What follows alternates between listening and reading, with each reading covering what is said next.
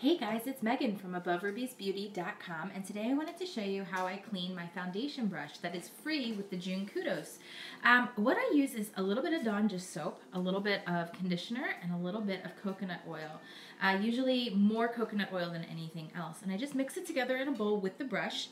I kind of just swirl it in there and really get the makeup out. I always keep the brush bristles facing downward though as I'm cleaning. It keeps soap and water from getting up into where the brush is kind of kept together and it'll make your brush last a lot longer because you're not getting uh, the glue's dissolved and everything else, and water and mold and stuff won't settle in there as easily, but you get your bristles good and clean, or your hair is good and clean.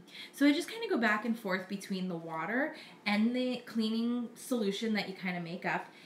And you just keep kind of rinsing it out. And I'm using this one handedly, but uh, you just kind of squeeze the bristles again downward and keep that warm running water going down as well as you clean through your bristles. So I do really like using the combination. The Dawn dish soap really does seem to break things up. You can use makeup cleansers as well, but you can really just kind of see I'm just showing the camera more than anything else that the bristles are really getting clean. And it doesn't take more than three to four minutes. I do this about once a month.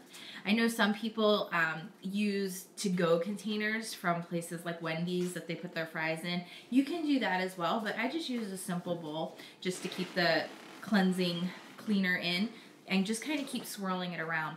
Once the brush starts running clear, meaning it doesn't look like there's makeup still running out of it, I just sort of swirl it in my hand for a little while and that keeps it really good. Um, and worked it worked around so there's no clumps, there's no gumps, there's no whatever. So you just really want to cleanse it out. Like I said, I do this about once a month with all of my brushes. And then to dry it, again, I make sure that it is facing downward. Okay, so you can see here the brush is good and clean. I make sure it's back into the shape. You can see that this foundation application brush from Younique is in an angle. And so I just place a paper towel down and I set it up against something. You can also hang it. I've also devised hanging devices, but this works just fine to set it and let it dry and you're good to go. Thank you guys so much for watching another video from Above Rubies Studio and the new AboveRubiesBeauty.com. I really appreciate it. I hope you have a great day, enjoy the moments, and be beautiful inside and out. Bye-bye.